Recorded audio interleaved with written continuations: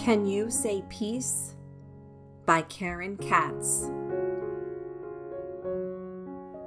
Today is Peace Day all around the world. Children everywhere will wish for peace, hope for peace, and ask for peace.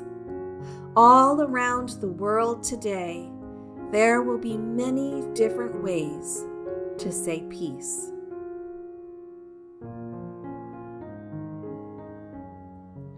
Meena lives in India. Meena says, Shanti. Emily lives in America. Emily says, Peace.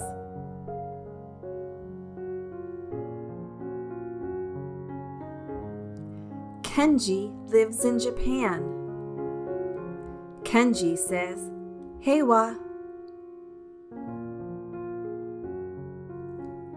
Lynette lives in Australia.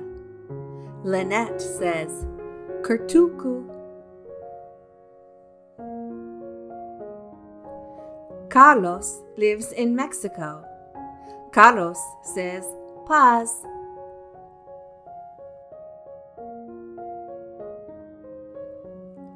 Hannah lives in Iran. Hannah says, Sol.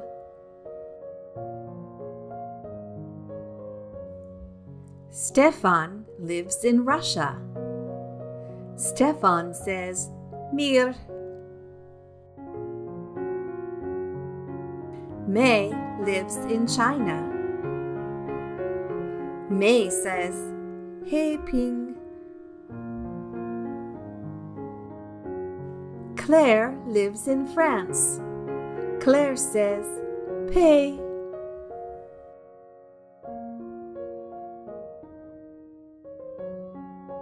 Sadiki lives in Ghana.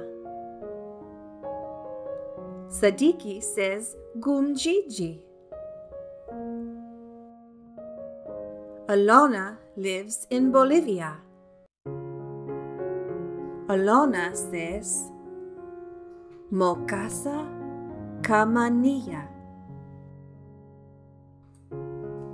All around the world, children want to go to school, to walk in their towns and cities, to play outside, and to share food with their families. They want to do all these things and feel safe. No matter how we say it, we all want peace.